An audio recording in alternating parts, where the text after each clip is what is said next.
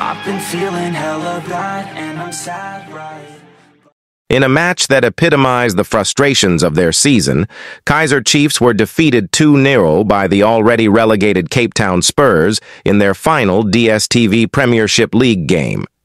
Entering the match in eighth place and aiming to secure a top eight finish, Chiefs' failure to secure any points has seen them drop to 10th on the log, much to the dismay of their loyal supporters. The game was held with high stakes for Kaizer Chiefs, who needed a positive result to maintain their position among the league's elite.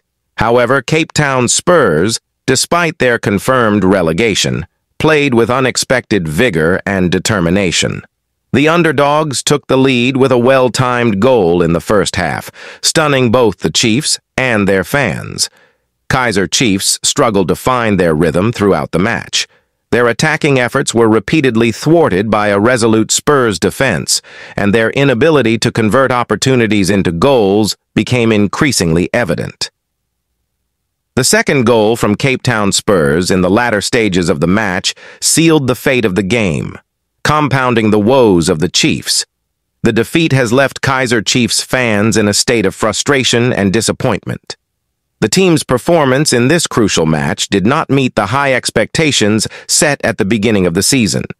The hope to end the season in the top eight has been dashed, adding to the mounting pressure on the club's management and players.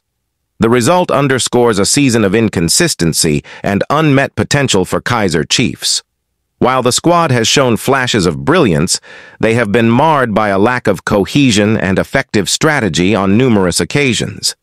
This latest defeat is a stark reminder of the work that needs to be done to restore the club to its former glory. With the season now concluded, all eyes turn to the club's management and their promise to appoint a new coach. The leadership at Kaizer Chiefs has acknowledged the need for change, and the appointment of a new head coach is expected to be a pivotal step in this direction. Fans are hopeful that this move will bring a fresh perspective and the tactical acumen required to revitalize the team. In conclusion, Kaizer Chiefs' loss to Cape Town Spurs in their final match of the DSTV Premiership League serves as a sobering end to a challenging season.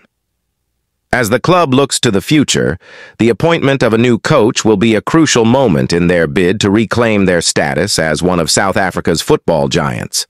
The fans, though disheartened by the current outcome, remain loyal and hopeful for a brighter season ahead.